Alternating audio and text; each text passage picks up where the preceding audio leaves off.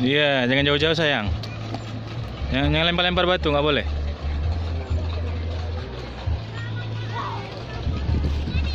Jangan.